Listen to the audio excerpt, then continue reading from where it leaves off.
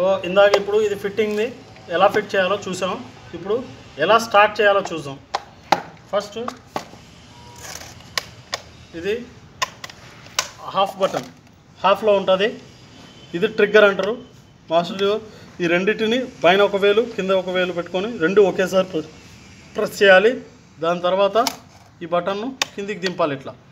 ఇది ఇవి ప్రెస్ చేయకుండా ఈ రెండు బటన్లు ప్రెస్ చేయకుండా దీన్ని కిందికి దింపడానికి ట్రై చేస్తే ఈ బటన్ విరిగిపోతుంది. సో దీన్ని పట్టుకొని ప్రెస్ చేసి దీన్ని కిందికి తీసుకోవాలి. అంటే ఇది చోక్ పొజిషన్ అనమాట ఈ పొజిషన్లో పెట్టి ఇది ఈ తాడును ఐదారు సార్లు లాగాలి. ఒక మిస్ ఫైరింగ్ వస్తుంది పట్టని అప్పటి వరకు లాగాలి.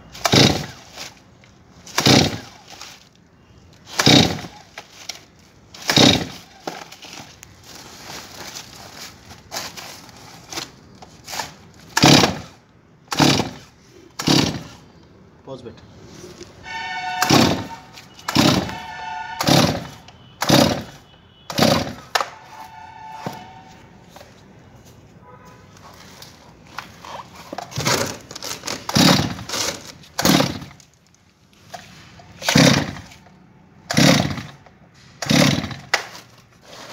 వస్తుంది చోక్లో పెట్టిన తర్వాత ఒక మూడు నాలుగు సార్లు లాగిన తర్వాత ఒక ఒకసారి మిస్ఫైర్ అవుతుంది.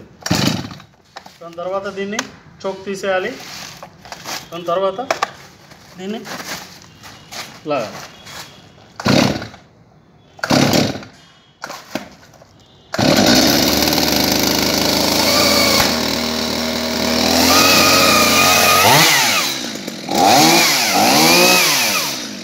తర్వాత ఆయిల్ వస్తుందో లేదో చెక్ చేసుకోవాలి. పని స్టార్ట్ చేసే ముందు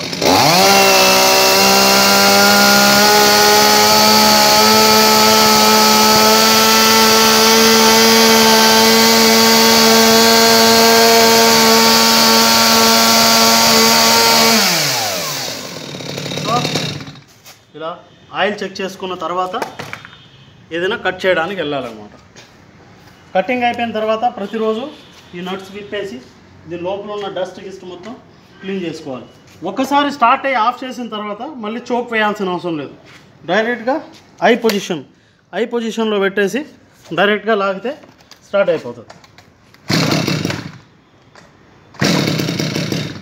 అది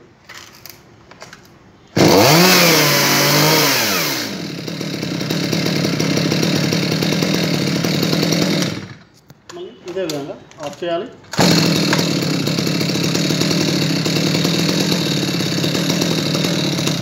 సో ఇప్పుడు ఇది రోజులో ఒకసారి షార్పనింగ్ చేసుకోవాలి. ఇది ఎలా చేయాలంటే ఇది షార్పనింగ్ కిట్. చైన్ షార్ప్ చేయడానికి దీన్ని యూజ్ చేస్తారు. ఈ విధంగా ఉంటుంది ఇది. దీన్ని తీసుకోవాలి.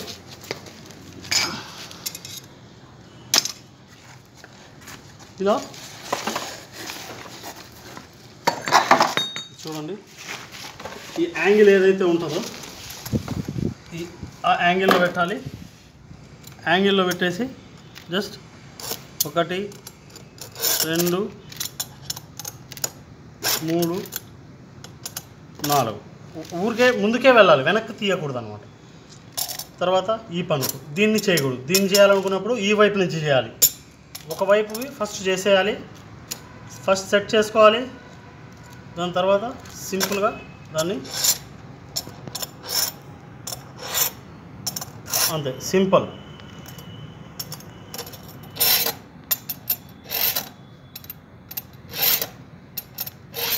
ఈ విధంగా షార్పనింగ్ చేయాలన్నమాట దీంతో. దీన్ని షార్ప్ చేసిన ప్రతిసారి కూడా ఈ డెప్త్ గేజ్ అయితే ఏదైతే ఈ పళ్ళు కనిపిస్తుందో ఇది దీన్ని కూడా ఈ పన్నుకు తగలకుండా దీన్ని కూడా ఊరికే ఒక మూడు నాలుగు సార్లు ఊరికే కొద్దిగా అరగదీయాలి. ప్రతిసారి దీన్ని అరగదీయాలి. ఇది పదును పెట్టిన ప్రతిసారి దీన్ని కూడా అరగదీయాలి. ఎప్పుడు కానీ ఇది హైట్లో ఉండాలి ఇది తగ్గులో ఉండాలి. అలాగనే దీన్ని మొత్తం అరగదీసేయకూడదు లైట్గా తీయాలండి వన్ ఎంఎం డిఫరెన్స్ ఉండాలి దీనికి దీనికి. ఈ విధంగా చైన్ షార్పనింగ్ చేసుకోవాలి. అంతే. ఇంకా మీరు యూజ్ చేయండి.